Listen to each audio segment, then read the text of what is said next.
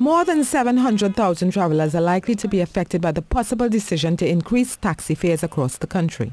On February 15, 2021, Minister of Works and Transport Rohan Sinanan estimated that 728,000 or 56% of the population use public transport. This increase will come at a time when a significant portion of the population is on reduced hours, reduced days of work, and others unemployed. On Monday, President of the TNT Taxi Drivers Network said a fare hike is imminent. We have never readjusted our fare in this whole COVID-19 pandemic from last year March to now, right? But it has reached a position now where we are now um, discussing it.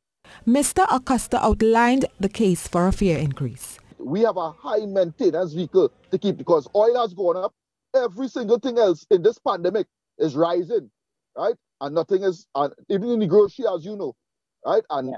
the, the, the price, the price that we have been charging people, we have tried to hold on to that as long as we can.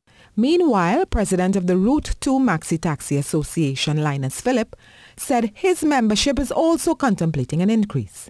You look at maxi taxi drivers who have to wait five and a half, five hours to get one trip. You're going from making like four to five trips a day down to one, one and a half, right? And in making that one and a half trip, you're down to 50%. Mr. Phillips said during the pandemic, most maxi taxi drivers have lost between 60 to 65% income with the reduction in passenger capacity from 100 to 50%. Mr. Acosta and Mr. Phillips were guests on TTT's Now Morning Show on Monday. Terry Ann Browne Campbell, TTT News.